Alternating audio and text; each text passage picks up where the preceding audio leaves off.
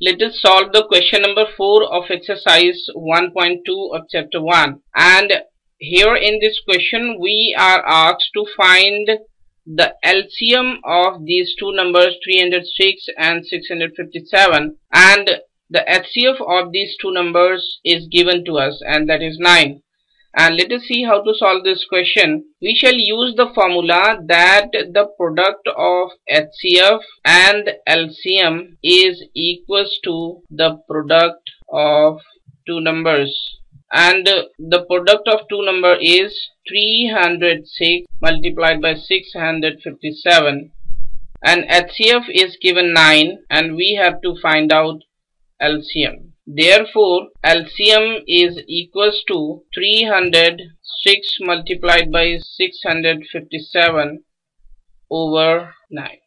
And we can cancel out this 9 and this 306 by 34 times. So the LCM is 34 multiplied by 657 and this is equals to 20 2338 this is the solution of the question. Thank you